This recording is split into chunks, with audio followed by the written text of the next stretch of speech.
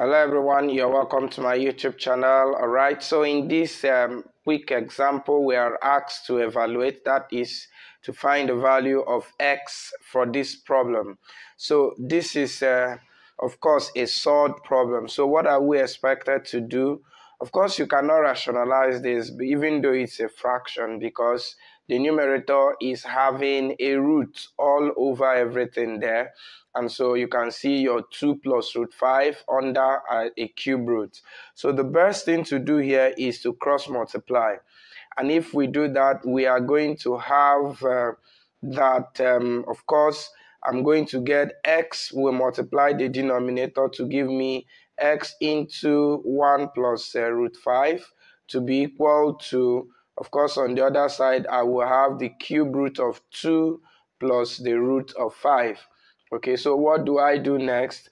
Now, um, the next thing is to clear the radical on the right hand side, take it to the left hand side. So if this cube root comes over to the left hand side, it turns to a cube. So I'm now going to have x into 1 plus the root of 5. Okay, and then on this side, I will just have 2 plus the root of 5. Okay, so what can we do next?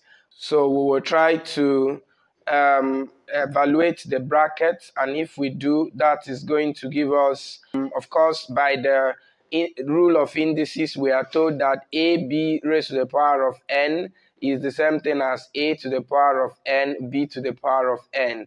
Okay, so that means that the power 3 can come on x, and then it can also come on 1 plus the root of 5 okay? And this is still equal to 2 plus the root of 5 okay?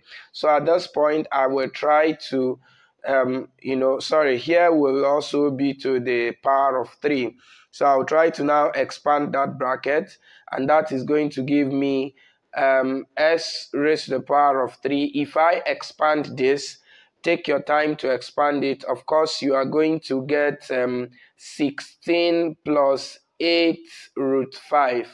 That's what is going to give you.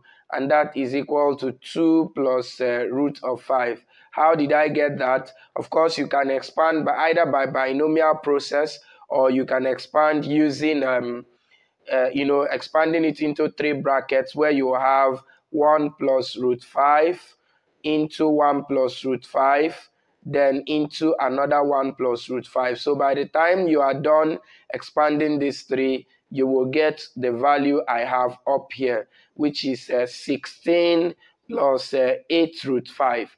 Okay, so at this point, I am now going to have that my s cube alone is now equal to 2 plus root 5 all over my 16 plus 8 root 5.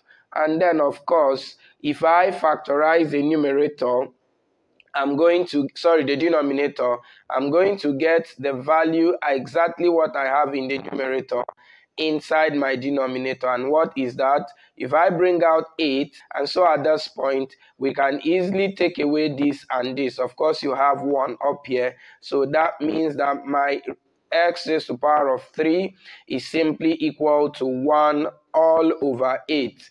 And so if I now take the cube root of both sides, this now means that my x alone is the cube root of 1 over 8. And what is that?